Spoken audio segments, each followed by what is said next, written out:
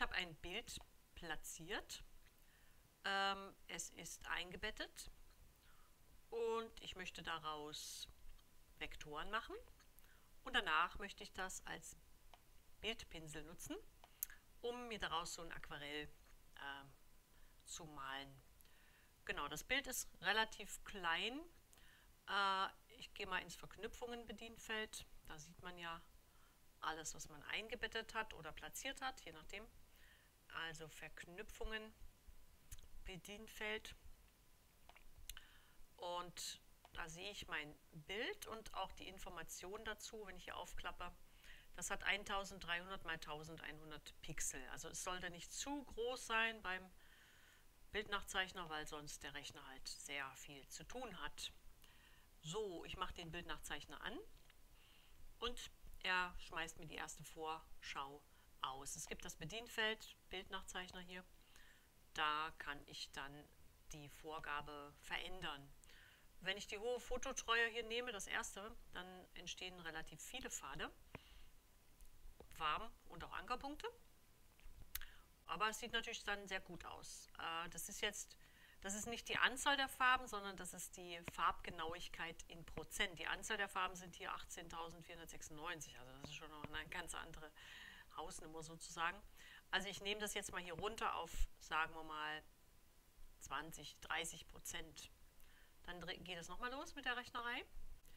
Dann äh, habe ich jetzt nur noch 1000 Farben. Das soll's mal, soll mal gut sein. Äh, und dann kann ich eben das Ganze auf Umwandeln stellen. Ja, also man kann sich hier verschiedene Vorlagen ausgucken, ausprobieren. Obala, jetzt habe ich schon wieder was verändert, also rechnet er wieder durch. So, äh, man hat hier verschiedene Modi, Farbe, Graustufen oder Schwarz-Weiß.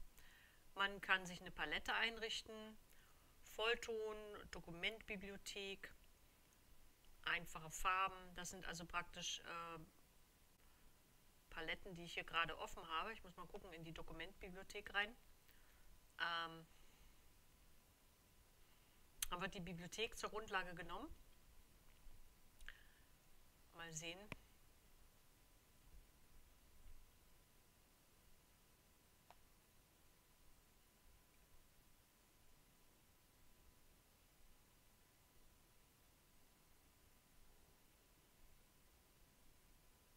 Sind dann 30 Farben. Also offensichtlich sind in meiner Dokumentbibliothek gerade 30 Farben drin. Ähm, muss mal gucken, ob das wirklich auch 30 sind. Also 7 pro Reihe, 1, 2, 3, 4, 5, 6, 7.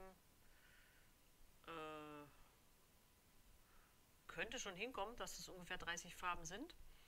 Äh, wenn ich in die Bibliothek was anderes lege, also ich lösche die mal alle, und, und lösche, äh, gebe mal was anderes rein hier.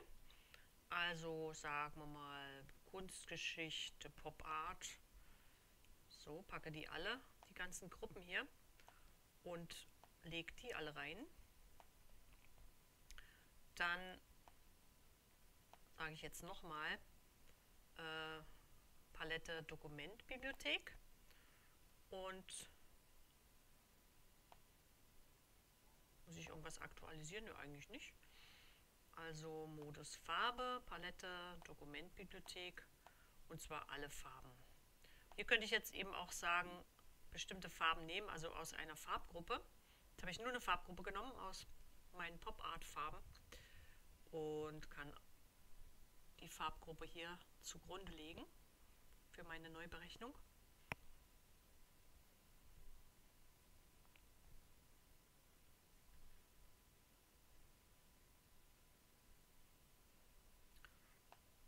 Große Änderung ist eigentlich nicht zu sehen. Es sind immer noch 30 Farben und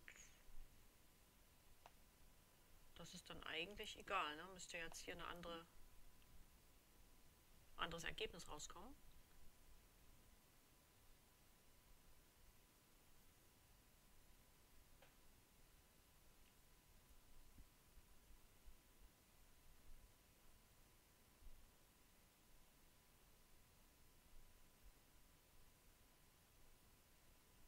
Vorschau nochmal raus und wieder rein. Scheint sich nichts zu ändern. Also das ist erstmal egal. Es sind immer noch 30 Farben.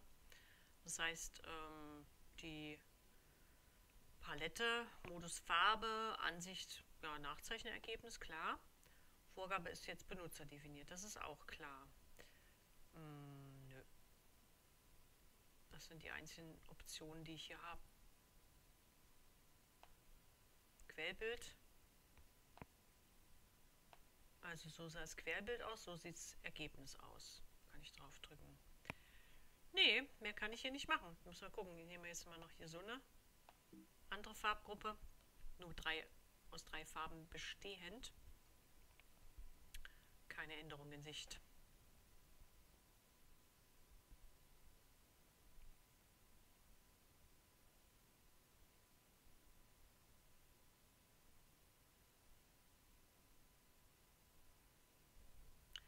Wenn ich ähm, mein, ja, mein Modus, nee, Dokument, ich sag mal automatisch oder gehe mal jetzt auf Pop Art hier drauf. Dokumentbibliothek, Farben, Pop Art.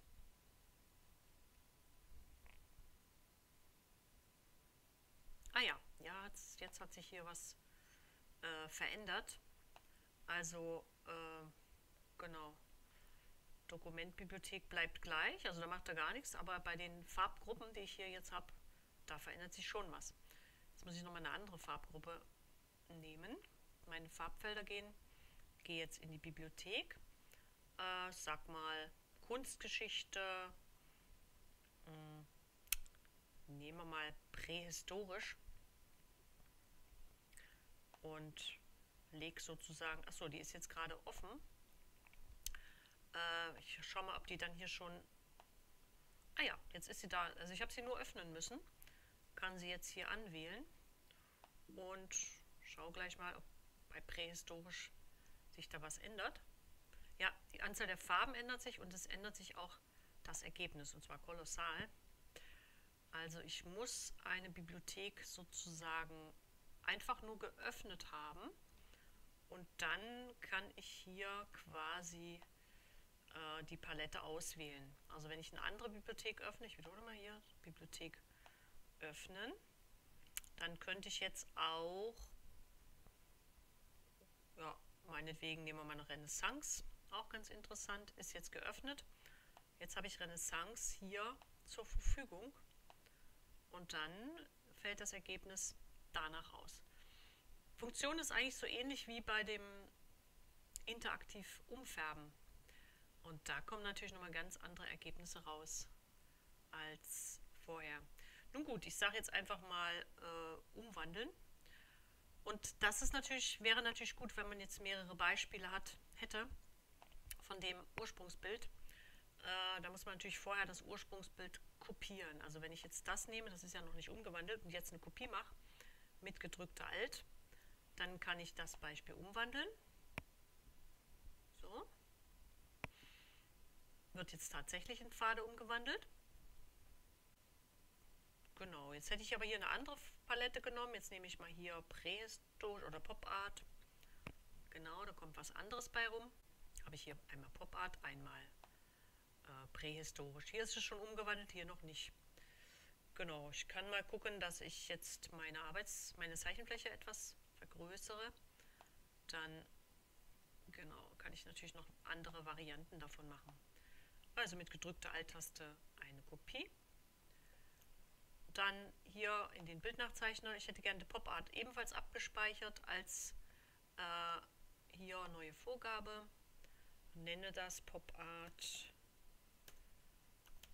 So, okay.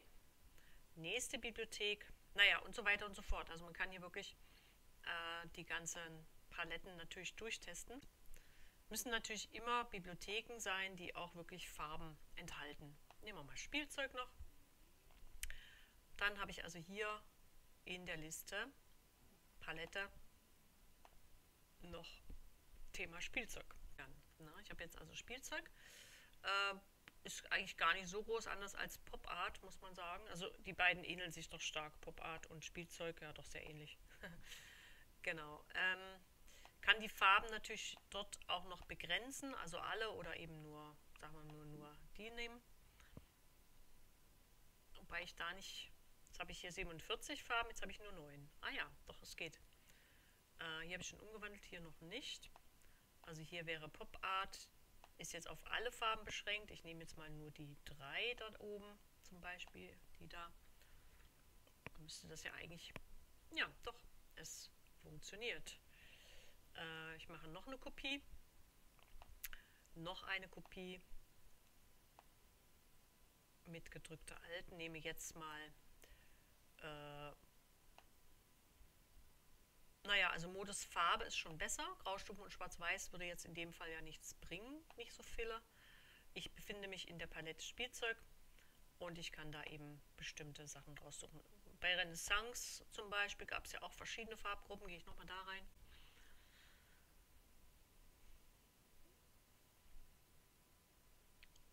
So, und nehme jetzt nicht alle Farben von der Renaissance-Abteilung, sondern sagen wir mal vielleicht nur diese da. Das sind jetzt sechs Stück, glaube ich. Genau, jetzt hatte ich noch 33 Farben, jetzt habe ich nur noch sechs Farben. Man sieht Renaissance vollständig, Renaissance auf sechs Farben reduziert. Ja, und äh, solange ich nicht umwandle, ist das natürlich immer noch eigentlich ein Bild mit einer Vorschau sozusagen. Sobald ich umwandle, wird es dann tatsächlich ein Vektor, eine Vektorgrafik. Ich wandle die jetzt mal um, wandle die mal um und kann sie dann weiter bearbeiten.